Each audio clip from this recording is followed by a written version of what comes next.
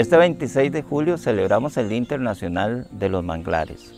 Los ecosistemas de manglar son ecosistemas marino-costeros sumamente importantes para diversos procesos costeros de protección de la costa, por ejemplo, y de cría de peces que sostienen las pesquerías artesanales de nuestro país. En Catie reconocemos este día como un día sumamente importante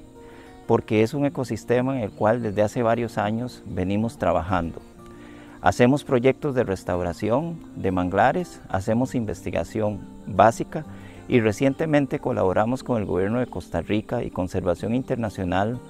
para publicar el mapa de ecosistemas de manglares 2022, el cual viene a ser una herramienta que provee de datos e información reciente sobre el estado y la ubicación de los manglares del país.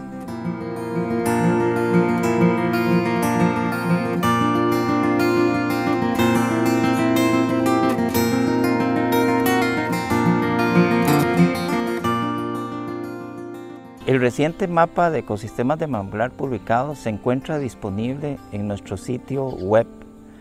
en el cual se puede navegar a través de él y obtener información sobre la ubicación precisa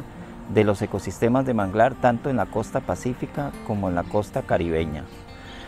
Para nosotros en CATIE, este forma parte de nuestra misión